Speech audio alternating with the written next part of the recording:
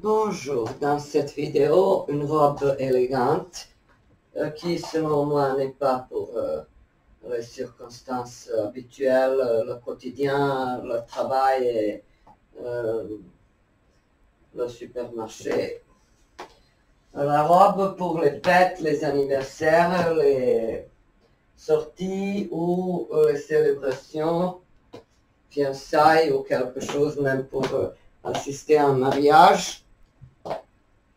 Et euh, j'ai d'abord mis, comme vous pouvez voir, euh, les chaussures de couleur neutre, rose pâle. Ça peut aller bien, mais, euh, mais aussi avec les escarpins en bleu verni.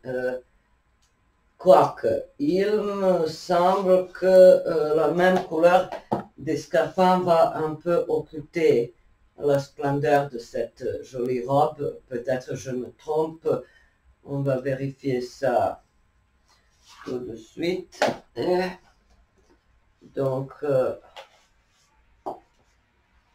peut-être un peu trop de bleu. Qui sait? Quoique. Non, avec les collants ou les bas de couleur chair, c'est pas de trop. Ça va.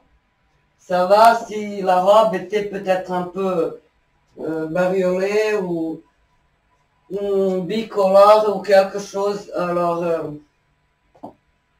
mais comme ça, ça peut aller selon moi. Vous voyez?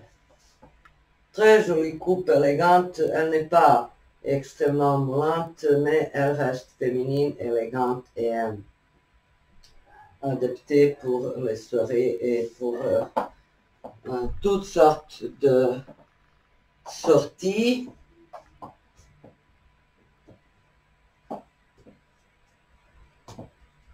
Et normalement apporté avec les escarpins ou sandales à talons. Sandales élégantes et non avec euh, les sandales plates. Quoique, si les sandales plates possèdent ces cristaux ou quelque chose, alors pourquoi pas. Ça me plaît. Ça me plaît, c'est très joli. On continue.